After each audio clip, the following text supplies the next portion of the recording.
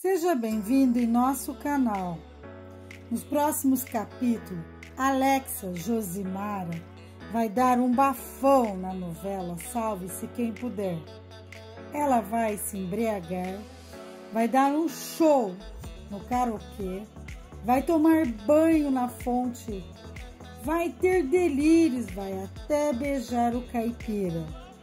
Vou contar tudo, mas antes, inscreva-se em nosso canal.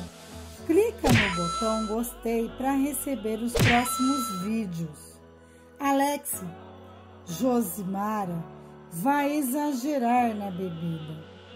O sitiante vai ver a atriz bebendo cajuzinho igual uma louca. Vai tentar explicar que aquilo é uma pinga pura, muito forte, mas ela reage mal. Aí me erra, vai. Quero me divertir, chega de perrengue. Prometo que não subo mais no pau. O caipira diz. E as outras? Você tem que ser discreta. Isso é cachaça pura. Eita, quem segura essa mulher? Esbraveja Zezinho. Depois de trocar provocações com ele, a moça vai subir no palco e vai cantar no karaokê. Vai dar um show.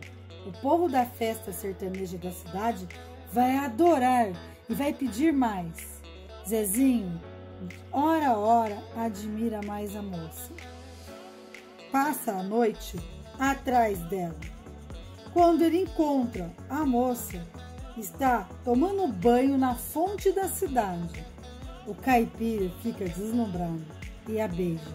A moça acha que é Renzo e corresponde o beijo. Ele a leva para casa no colo, cheio de amor para dar, mas ela cai no sono pesado no sofá. O pior está por vir. No dia seguinte, a atriz finge que não beijou o rapaz. E ele fica arrasado e com muita raiva. Toda vez que ficam sozinhos, sai faísca, mas a atriz vai pedir para ele não criar ilusões sobre ela e ele reage mal. Diz que ela o esnoba, mas fica babando toda vez que chega perto dela. Por hoje é só. Inscreva-se em nosso canal ative o sininho da notificação para receber as novidades. E não se esqueça de deixar um joinha, isso é muito importante. Até a próxima!